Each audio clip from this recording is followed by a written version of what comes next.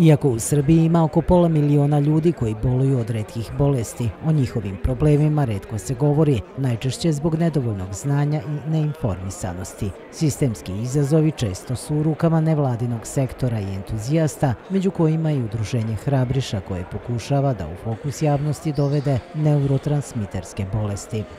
Važno je da učimo, važno je da govorimo o tim temama, jer samo tako ćemo omogućiti da deca koji imaju neurotransmiterske bolesti na vreme dobiju svoju dijagnozu, da dobiju sva prava zdravstvene zaštite, svoje mesto u socijalnoj zaštiti, u obrazovanju, znači kako život teče, kako oni imaju određene potrebe da se uključuju u društvo, da upravo postanu njegov ravnopravni član.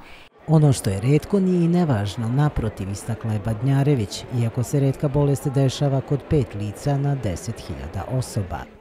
Upravo je važno za svaku tu osobu govoriti, ako ona ne može u njeno ime, govoriti o njenim pravima kako bi ta osoba ostvarila svoja prava, kako bi se svi upoznali sa redkim bolestima i e, nekako mislim da to e, posebno u struci je važno. Znate, vi možete biti e, lekar opšte prakse, a da nikada niste vidjeli osobu koja ima redku bolest. Možete čak biti i specijalista neurolog, a da niste imali pacijenta. Samim mhm. tim nemate znanje. Diagnostička odiseja redke bolesti ponekad traje i po nekoliko godina, kazala je Badnjarević. I prođe se e, nekoliko pregleda, na primjer neki prosjek je sedam lekara specijalista e, prođe osoba e, dok ne dođe do svoje dijagnoze. To je mnogo. A sad ću vam reći zašto je to važno. Važno je što pre utvrditi dijagnozu, jer samo ukoliko se zna dijagnoza, može se započeti nekakvo liječenje a lečenje je po pravilu uspešnije što se ranije započne.